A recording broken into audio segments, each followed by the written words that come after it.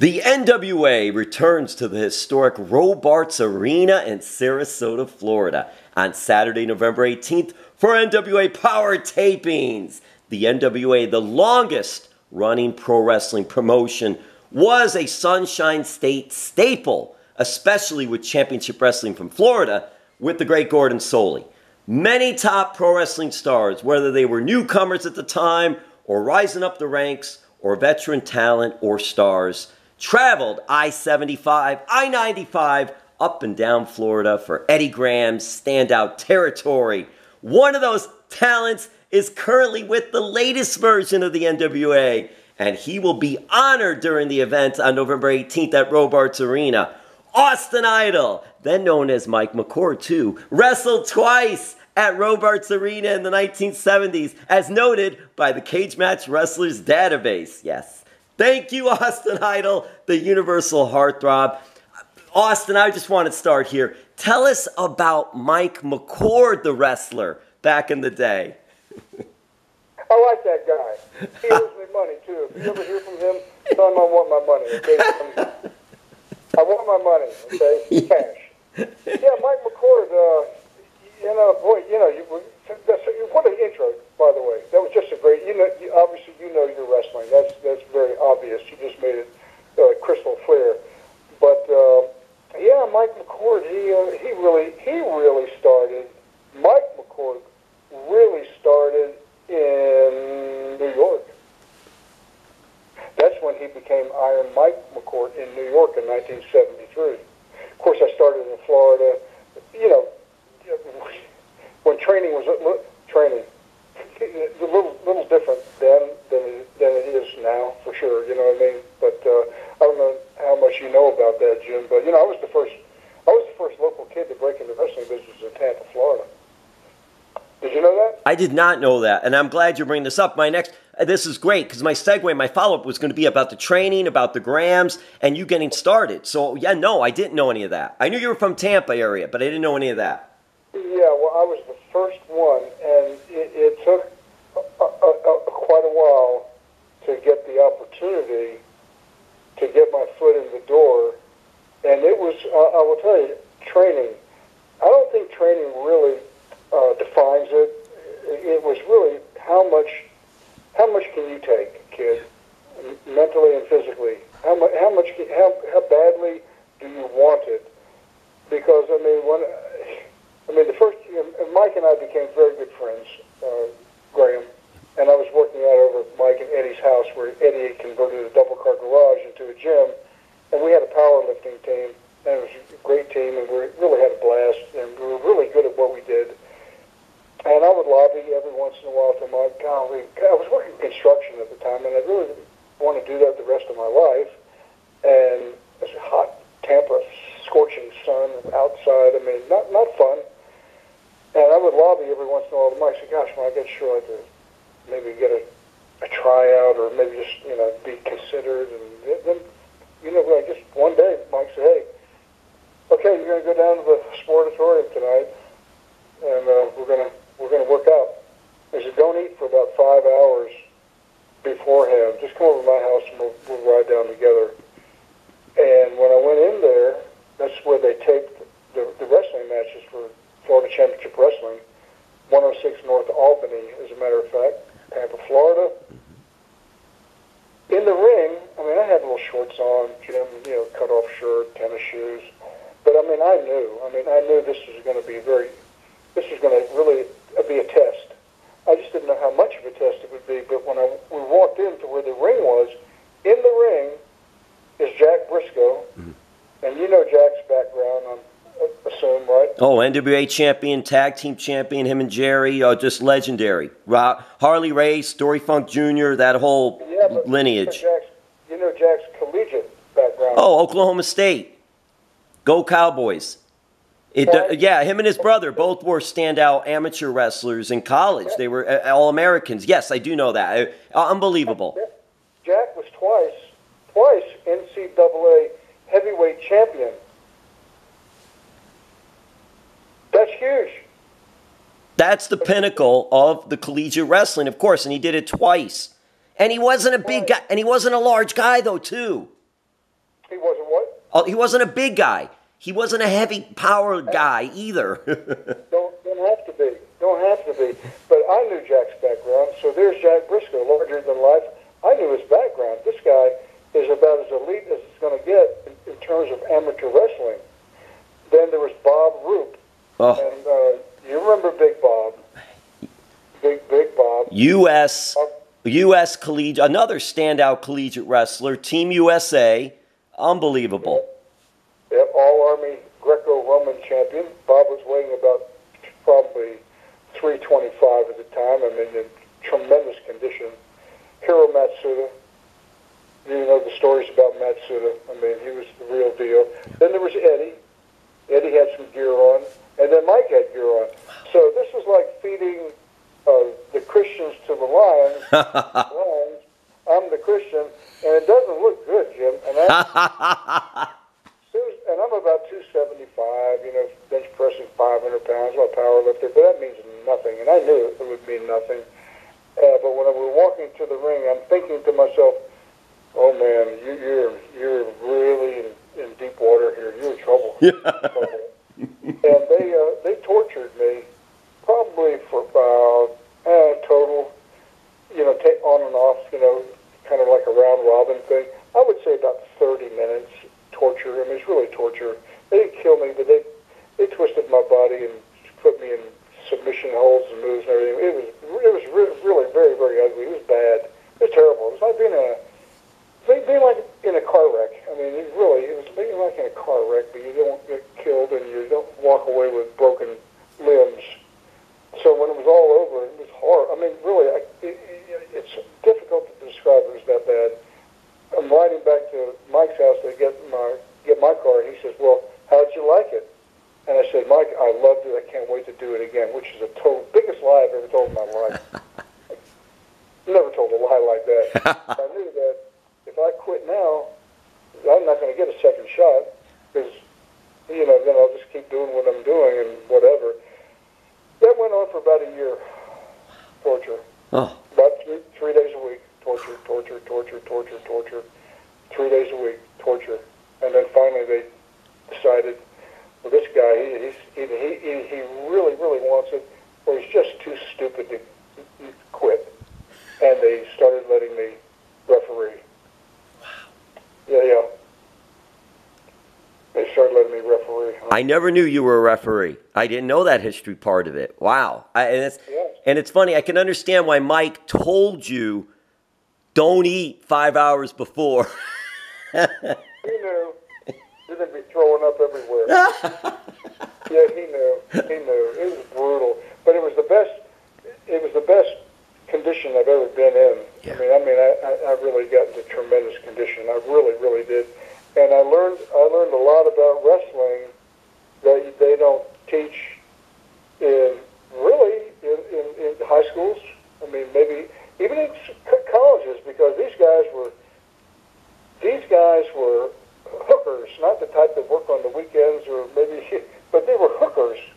I mean, they knew how to hook you and just make you scream, or if, if they wanted you to pass out, they could do that. Break a leg, break an arm, whatever they wanted to do. Th- These guys, they knew how to hurt people if they wanted to. But because I was Mike's friend, they weren't going to do that to me. They were just going to torture me. well, they wanted to also, you, you had that who's who of talent in the ring, amateur and professional. And it also, for you, it almost though is saying, hey, this is a testament, not only a test, because Austin Idol, well, at the time, not Austin Idol, but still, Austin Idol, you're getting to learn, you're getting to go through the rigor. They just didn't bring any anybody in there to work out with you. They brought the best of the best to work out with you. It's like, kid, if you could take it from us and you still want to do this, this this could be your thing. It could be. The, the thing, the, the great thing now is, Jim, and uh, you know, I have a professional wrestling college here in Greenville, South Carolina. Now, I, I don't. I my my number one thing is injury prevention. So I don't try to hurt people or make them feel uncommon. I, I teach them. Really, I teach them. And really, my thing is to to teach them how to make money, how to make money, create create something that you may not even, more than likely, you don't even know that you have inside you. We'll dig in there and we'll find it, bring it out, nurture it. You know, we'll plant that seed, we'll water it, put fertilizer on it until you become somebody that's different from who you are, and that you fall in love with who that is, and you take that and build on it. And I mean, wrestling. I mean, anything can happen. You can go from a nobody, I mean, an absolute nobody, to somebody that the whole world knows. It's an and make a lot of and make a lot of money. and make a lot of money at it. And you you've been through it all, uh, uh, all the way back then till now. And who better to learn from and to learn the business of it as well and how to make money than you? So it's interesting. How long have you opened that? How long has that been running? About three years. And how's the reaction been from others? And are you getting are you getting kids in there too that are willing to work, willing to learn? Because nowadays it just seems like everybody wants to be at the top right away. No, th- yeah, I've got some some people that are just tremendous. They're very smart too. See, and that's that's it's very important. You got to have a brain. You got to have an IQ about you, and I mean the willingness to learn for sure. But I've got some really smart young guys. One of them is going to be trying out, maybe, maybe in Sarasota on November the 18th at Robarts. Maybe trying out there. Uh, very well might have a tryout. Yeah, and he's very athletic. You know, they're all great kids. I mean, they're they're they're really smart, very athletic, and they they they've been taught and are continuing to be taught and coached about how to make money, not and not be a follower. Don't do what everybody else is doing. Be contrarian. You know, don't follow what you're seeing. Don't don't do that. I mean, some things you're gonna obviously you're gonna use. I mean, different holds and moves, all that. But you got to be different. I mean, you gotta have a, you gotta have a personality, a great one. I mean, a great personality. You got to be able to get on that microphone and cut a promo. There's so much competition nowadays, and because also because of social media and just the way we can get the information so fast, we can get it on YouTube, we can get it on tw- X, Twitter, we can get it on so Instagram, so many places, TikTok, that the competition is even greater to try to stand out. And I'm curious, g- please give another plug for the training center, the college, the, the facility that you're doing, and where is it? And do you have information if, if anyone's interested in checking it out? I sure do, Jim, and thank you for that. That's awfully kind of you. Yeah, it's uh, Universal Wrestling College. That's that's our website, Universal Wrestling College. I mean, you Google it, Austin Idol, you're going to see Universal Wrestling College, a great website. You can go on there and uh, sign up. You can just read everything. You see what it uh, entails. You can hit that sign up. Boom. There's an application. You got to fill out that app. You know, it's, it's not a real long deal, you know, but uh, you know, name where you're from, what yada yada yada, age, and all that stuff. You know, any sports background, and you don't have to have a. What's cool in this business, you don't have to have a sports background. I mean, you might want to be a commentator. Uh, you know, somebody interviews, some, an interviewer, behind the scenes interviewer. There's a, you know, a referee. You know, you don't have to be a former college athlete or high school athlete to be a referee, but you got to be smart. So I can teach all aspects of the business, all of it. We're in Greenville, South Carolina. Greenville, South Carolina. It's a beautiful place, a tremendous facility at a fifteen thousand dollar ring. I mean, a gorgeous ring, beautiful ring. Well, I'm, I'm going to interject something here because there are pro wrestling schools, as we know. We we have some. We have one in Florida, South Florida. It's very good. Uh, Gangrel's involved with that. WWE alum, Coastal Championship Wrestling down here in, in Pompano Beach, actually. And it's interesting because the wrestling schools, obviously, no one can guarantee what can happen with somebody. But yours is different in a sense. And what I hear is yours is saying, hey, how do you make money? Yes, how do you become a wrestler? How do you become a referee? How do you become a commentator? But how do you make money doing that? Eh? I think that's a that's a really good caveat that you have set up for that. That's the name of the game. I mean, make money unless you just want to be seen on television. I want to make money. And and aside from that, what really makes my wrestling college different, I absolutely have the keys to the National Wrestling Alliance, the hmm. NWA. Billy Corgan, owner, great guy, very smart, exceptionally smart, and we are tight. I've been with him now five years. Five years when there weren't too many people on the roster, and I've been with Billy all that time. So we've become very close friends. He's a wonderful guy. He has amazing passion for wrestling, and he's he's the type of guy. Get out, just get out of his way. He doesn't want to push anybody around, but get out of his way. Because once his mind is set, which it is set, he's going to make the NWA really, really big, and it's well on its way. I mean, a lot of great things are getting ready to happen very, very soon, very soon with the NWA.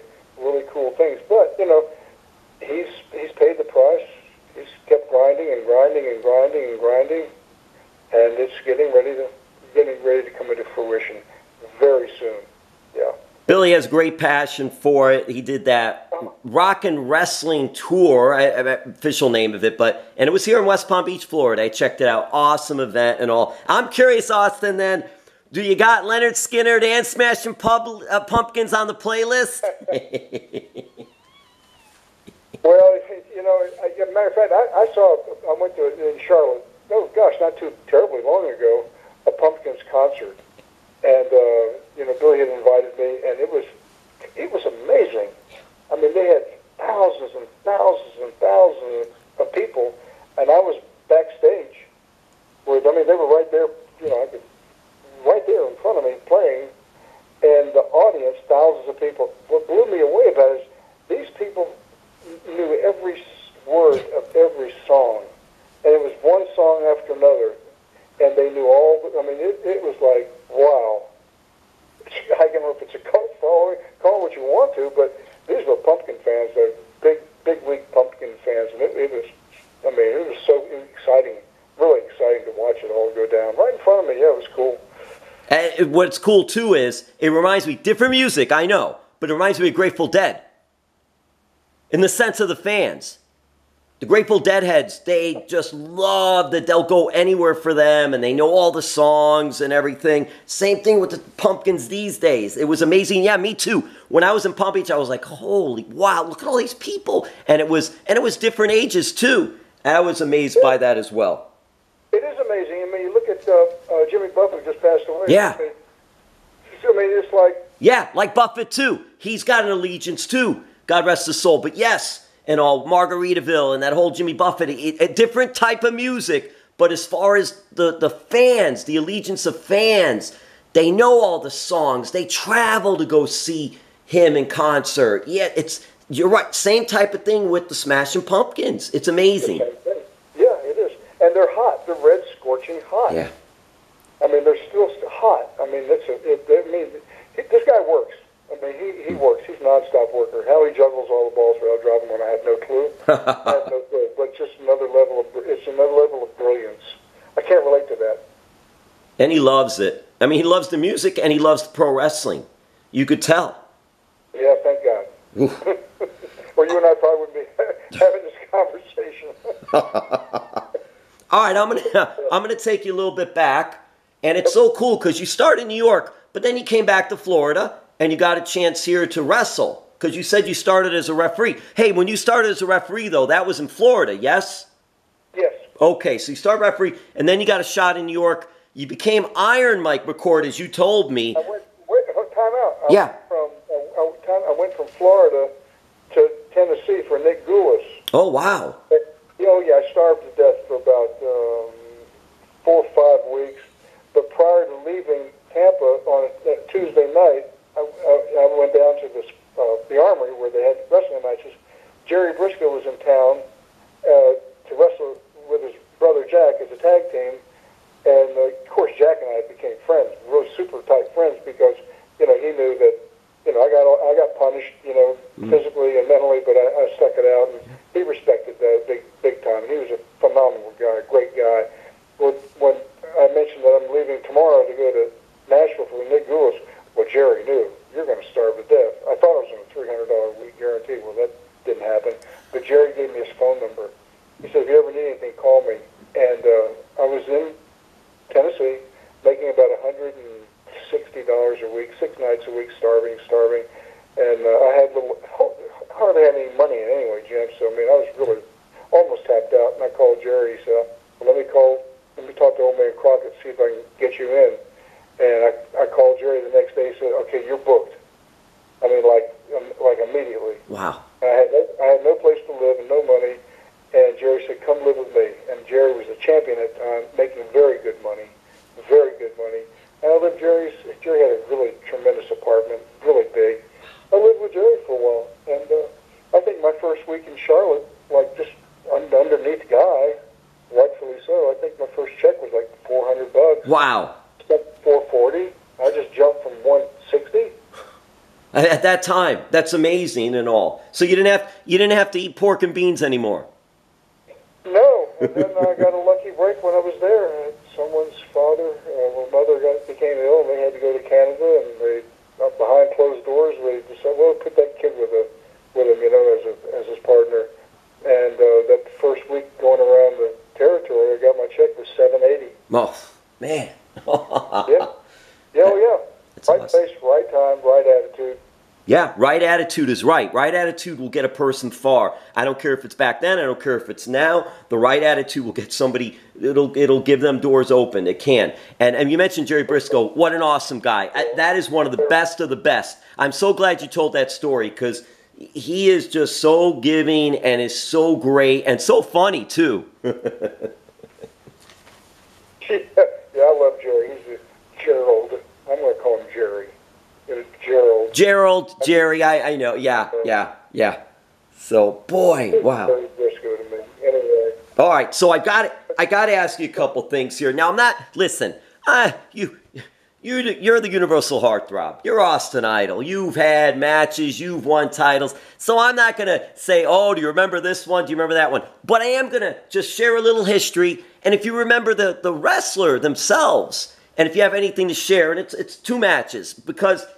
Robarts Arena. So I'm looking back, I don't know, and I find two matches Mike McCord, February 15th, 1975, at Robarts Arena in Sarasota, against Bullet Bob Armstrong. Yeah. Do you remember anything about Bullet Bob? And what a great family, too, the Armstrongs. Tremendous family, yeah, tremendous family. I knew them all very, very well. Yeah, Bob. Bob was uh, he was a great guy, and he he really. And Bob was the guy that he knew he knew how to make money. He knew how to make money, and I knew how to make money. I just came from New York. I mean, that was a, really the cream of the crop. And before New York, I was in Australia. Wow. No, I was in Australia with. You just didn't get into Australia. Wow. I got I got lucky. Gary Hart got me booked there, and I mean that was like unbelievable. It was They- unbelievable. They saw something in you. Come on. I mean, even back then, though. We know what we see later, but back then. Because you got Jerry Brisco sticking up for you. You got Gary Hart sticking up for you. That's amazing. yeah, you know, you know, we're building relationships, and we're always building relationships and making new friends and acquaintances, whatever. And uh, but yeah, you have to have, bring something to the table for sure. But uh, I mean, I went from Australia where Jim Barnett sold that company, and uh, uh, he, he said to me on the telephone, he says, well, well, what are you going to do? Where are you going to go? I said, I don't know. He said, where do you want to go? I said, New York. He said, I'll call Vince. Man. Call me in three or four days. I'll be at the Surfrider Hotel in Hawaii. Wow. Booked. Your first TV's in March, whatever, 73, I guess it was. And then I went there to New York, and uh, old man, you know, Vince McMahon Sr., Yeah. Trem- tremendous guy, wonderful guy. After about, I don't know, five or six weeks, he put me with Lou Albano to be my manager. And Lou Albano was one of the greatest managers of all time. Captain Lou. The guiding light. Man. That's this is so cool. I'm so glad you're sharing some of these stories. You don't know as a as a old school pro wrestling fan how, how I am enjoying this. I really am, and and just to hear that you, you work New York and you're working with Captain Lou right then and there. You know, after a while, you're set. I mean, you're you're set. I mean, uh, who knows what's going to happen five years, ten years from now? Who knows? I know that. But as far as like getting that opportunity and doing that, did you know at the time in your head though that like, okay, this is big time. I'm here. I'm on my way. Oh, absolutely. I mean, just getting to New York. Yeah. Just getting. I, I, I'm. I'm pretty sure. Not 100%, but I'm pretty sure I'm the first guy from the South that ever went to New York. Wow. I'm pretty sure I was the Yeah. because there, there wasn't anybody there from the South. No. From, from there? No, nobody. No, they were all northern, right? Northeastern. They were all Canada, northeastern. Yeah, right. Yeah, exactly. So here comes this kid from the South, and then he puts me with Lou Albano, who was one of the great, great. I mean, talk about mic skills, promo. Oh, And uh, yo, bro, I got to be a student because you know I would stand behind Lou or next to him. Lou's doing all the talking, and I'm just soaking it in. So you know what? He's basically not not completely, but basically talking about everything but wrestling. this guy's a shotgun blast, and then he'll make his point. You know what I mean? That when, when wrapping it up, he'll make his point then. And I thought, well, this is tremendous. He's not even talking about wrestling. He's talking about anything and everything but wrestling. Then he then he drives his point home. So I was with him for a year, and then but finally after a while, Lou started letting me talk. He just said, "You talk. Tell him, tell him, Mike. Tell him, Mike. Tell him, Iron Mike." And, and I started. That's really where I started grinding my teeth on making promos, and that I mean that was that was tremendous uh, learning experience for me. well, Austin. Obviously, Bruno Sammartino time. Yes. Well, yeah, uh, no, No. Was it Superstar? Because then I was going to ask you about Superstar Billy Graham. Of course. Was Superstar that uh, there at that time or? No, he wasn't there. No, he was he wasn't even there yet. No, but Bruno had retired, uh, and he would come in and make shots here and there. Matter of fact, I wrestled Bruno in, I think it was Providence, Rhode Island Mm. one night. I mean, that that was a thrill. Wow. Bruno, Bruno Sammartino? you kidding? You kidding? then it was really a good match, and he was just like, you know, larger than life. You know, uh, wrestled Pe- Pedro was the champion. Pedro Morales wrestled Pedro a few times for the belt uh, here and there. So I mean, yeah, I mean, I was rocking. Oh, that's awesome. Well, you did all that, and you mentioned uh, Pedro Morales, because yes, that would have been, I, I know now, that would have been the time, short lived. Uh, Ivan Koloff was champion, ended Bruno's streak. Then he had the injury from the lariat, Stan Hansen, who I wish he wore contacts back in the day, but what are you going to do? And then you got Pedro Morales as a champion, and then and Bob Backlund ended up becoming a champion, superstar Billy Graham, okay, et cetera, et cetera. But back to Florida, I'm curious because there was one other match at Robarts Arena that I found. And by the way, we're not going to tell the outcome of the what happened with Bullet Bob Armstrong. I'm not going to I'm not going to reveal that. Not no Don Jardine alerts. I'm not going to reveal that. But I will say this. You beat on July 9th, 1977. And I don't know if you remember this guy, if you have anything you can share about him. Mike McCord defeats at Robarts Arena the Great Mephisto. Oh man, oh man.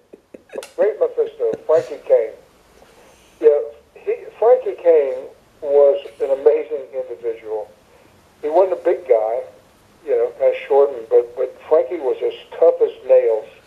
I mean, he was tough, extremely intelligent, very very smart, and he was a guy that you would want to have as your friend. I mean, really, and we became close friends. But Frankie was a one tough mother, and it, well, matter of fact, he was he was a big star out in uh, San Francisco for Roy Shire. Roy Yeah. Shire was the promoter. Wow. Frankie was Frankie was on top. Cow Palace. Wow. Cow Palace, Pat Patterson. Yeah, Pat Patterson. You know, they they were they, they had a stacked roster. It was stacked, and Frankie was on top out there. And I don't, I really don't know what happened, but something happened, and Frankie and Roy Shire got into an argument. Now this guy's the promoter. He's writing the checks. Frankie punched him right in the face. Ah. Punched him right in the nose. Well, that was the end of Frankie there. but you know, that's the kind of guy he was. I mean, he just he wasn't going to take any any any guff. I mean, he wasn't he wasn't going to take it.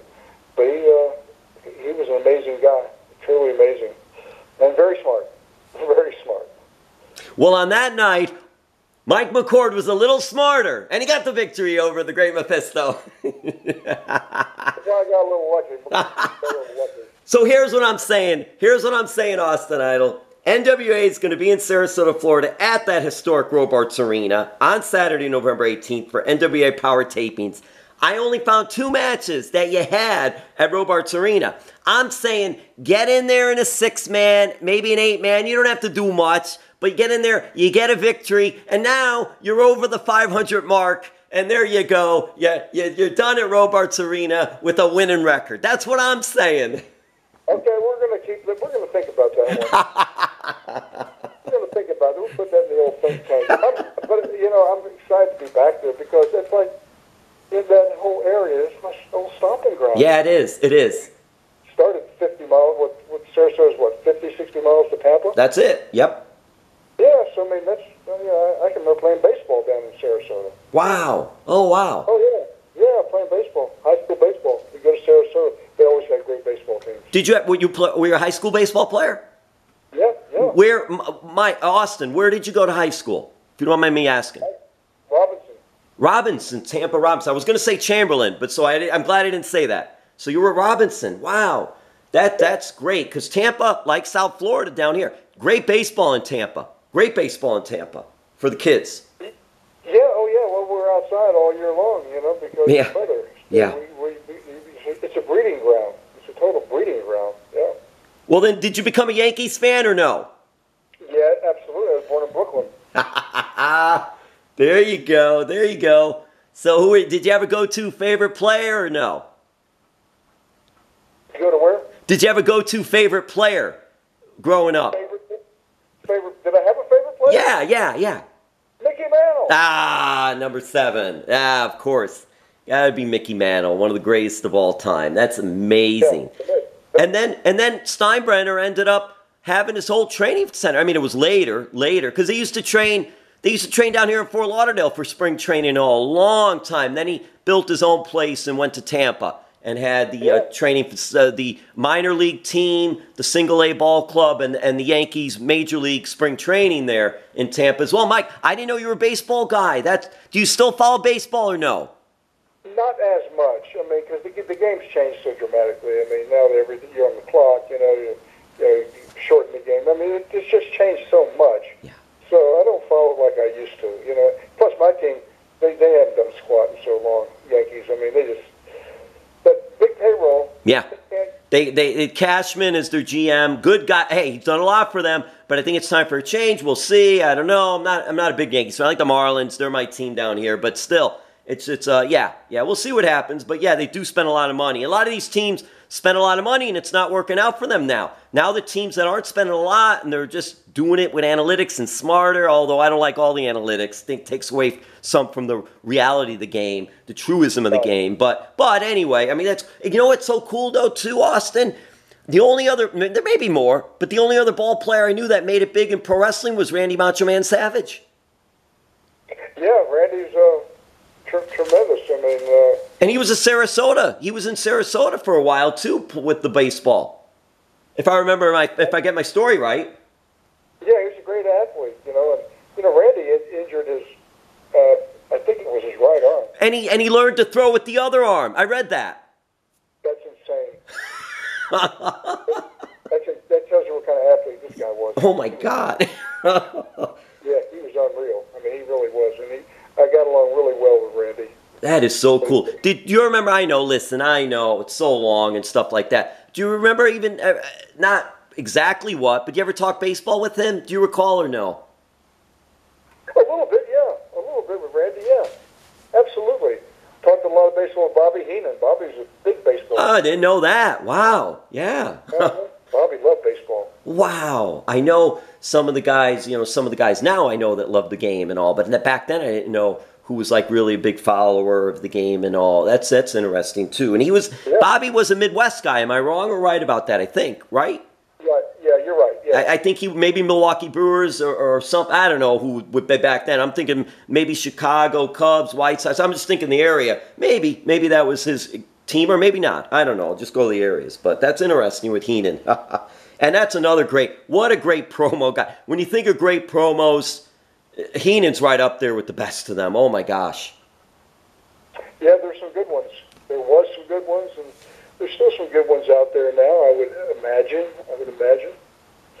I mean, not as good as I am, but Ha ha ha! Who could top the Universal Heartthrob? That's exactly right. Come on now. it's gonna be tough. It's gonna be tough, Jim. It's It really is. You do cut. Your promos were tremendous. I'm just wondering. Obviously, I know it's you. I know it's your own. But are you are you pulling from others too? Because you you're looking at others. 'Cause obviously, there's comparisons to superstar Billy Graham a little bit. You worked in Florida. Dusty was in Florida. Or, or did you did you sort of pull from others and then throw your own style into it? Or am I off on that? I, no, I think everybody does that a little bit. You may see something or hear something, yeah, I kind of like that, you know.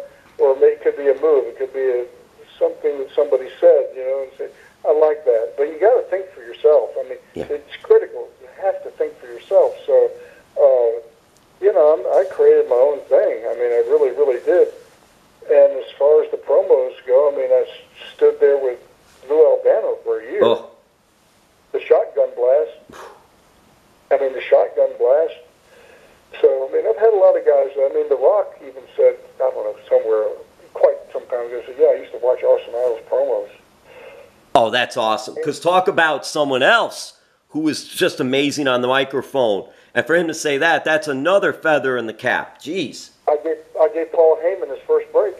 Oh, get out of here. That's amazing. Another one great on Mike. What real quick, what happened there? Real quick. I love Heyman. I was in Memphis. I was in Memphis. I'm doing well because I was on top, you know, with, you know, wrestling against Jerry Lawler Mhm. with him. So, I mean, I had a really great run in, in the Memphis area for really about on and off for about 10 years. Tremendous run, about 10 years. And this kid came in from New York and had this little white suit on and walked around with a phone. Back then they had antennas on it. It was three feet long. yeah, those Gordon Gekko Wall Street phones. Yeah, exactly. And he was from New, he was from New York, so we talked New York talk and talked baseball, and we just kind of hit it off. And I liked him. He was brash and he was smart and all that. And I, and I, I went to uh, I went to Lawler. I said, uh, you know, I like this kid. It was Paul Dan- going wrestling, managing under Paul Dangerously. Yeah. I said, you know, I like this kid. I said, let's put him with me. I'll, I'll make him my manager. He says, Lawler said, are you sure? I said, yeah, yeah, because I liked him, right? So I wanted to kind of help him out and maybe enhance him a little bit and get him up the ladder a little bit more. I said, yeah, let me have him. Let me have him. And Paul was right there with me, and you know he heard me, watched me make my promos, and obviously he knew that, oh, this is good. I can do this, and he's smart though. He's a smart guy. you know? Yeah, he is very smart. Yes. So he he would be very.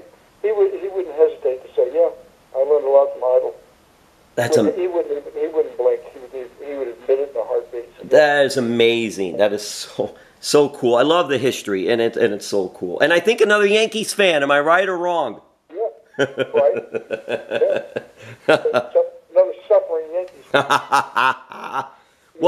Austin, I, I you, you're so gracious for your time. I have a couple more questions and I'll let you go. I thank you so much